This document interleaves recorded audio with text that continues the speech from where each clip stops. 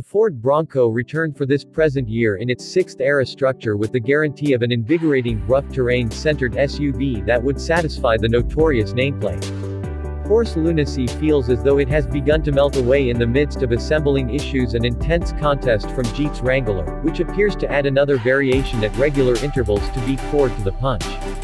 Portage has answered the previous with confirmation that processing plant groups are prepared to speed up better creation methodology that ought to mitigate any issues with the hardtop Broncos. Yet, with regards to the opposition, we are really glad to report that Ford's reaction is to go hustling, as is custom for the American OEM. The standard Bronco accompanies your decision of turbocharged motors. The base engine is a 2.0-liter four-chamber with 300 pull and 325 pound-feet of force.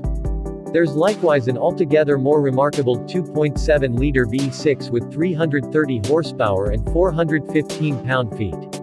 Both are chipper, yet as the Wrangler 392 demonstrates, there's substantial interest for simple SUVs with 8 chambers.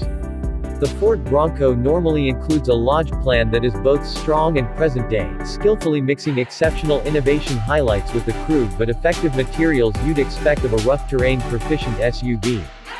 The Bronco Drive is, ah, unique.